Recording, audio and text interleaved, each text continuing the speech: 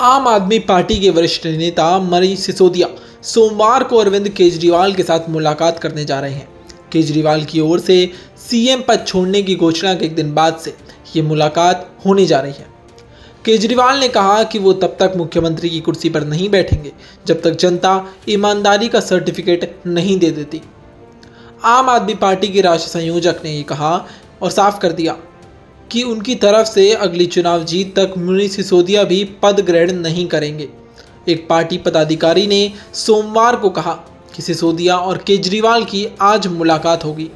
केजरीवाल के फैसले के बाद दोनों नेताओं की पहली मुलाकात है।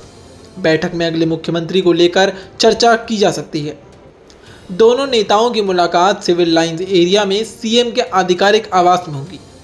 आइए आपको सुनाते हैं विषय में राघव चड्डा ने क्या कहा। मुख्यमंत्री जी, अग्नि परीक्षा से गुजरने के लिए तैयार है और दिल्ली तय करेगी कि मुख्यमंत्री ईमानदार हैं कि नहीं है। अरविंद केजरीवाल जी ने 2020 में काम के नाम पर वोट मांगा था और कहा कि अगर मैंने काम किया है तो मुझे वोट देना, मैंने काम नहीं किया तो मुझे वोट नहीं देना।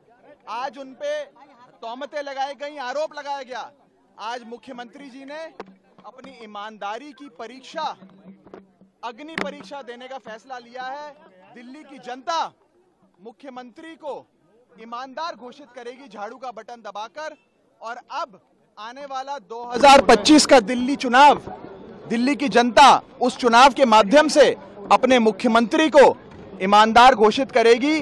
जैसे दीवार पिक्चर में अमिताभ बच्चन के हाथ पे लिखा था, वैसे ही दिल्ली की जनता उसके ठीक उलट अपने हाथ पर लिखेगी। कि मेरा केजरीवाल ईमानदार कथित शराब घोटाले में गिरफ्तारी के बाद महीने तक जेल में रहकर जमानत पर निकले केजरीवाल ने कहा कि वो विधायकों के साथ बैठक करेंगे। उन्होंने कहा कि दो तीन दिन में विधायक दल की बैठक होगी और आम आदमी पार्टी से नए सीएम का चुनाव कर दिया जाएगा। केजरीवाल की घोषणा के बाद इस बात की चर्चा छिड़ गई है कि दिल्ली का नया मुख्यमंत्री कौन होगा। आइए आपको सुनाते हैं अरविंद केजरीवाल ने क्या कहा दोस्तों दो दिन के बाद, आज से दो दिन के बाद मैं सीएम की कुर्सी से इस्तीफा देने जा रहा हूँ।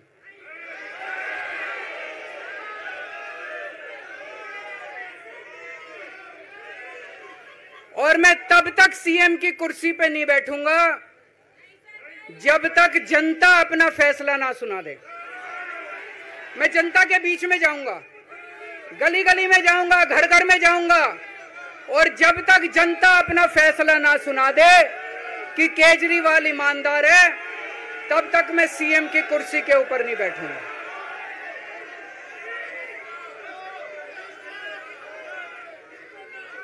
आज से कुछ महीने बाद चुनाव है, दिल्ली के चुनाव है। मैं जनता को निवेदन करना चाहता हूँ, अपील करना चाहता हूँ।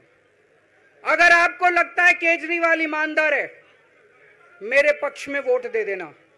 अगर आपको लगता है केजरीवाल गुनागार है, मेरे को वोट मत देना। केजरीवाल सरकार के मंत्री आतिशी और गोपाल राय का नाम रेस में सबसे आगे बताया जा रहा है। चर्चा इस बात की भी है कि केजरीवाल की पत्नी सुनीता को भी ये ज़िम्मेदारी दी जा सकती है।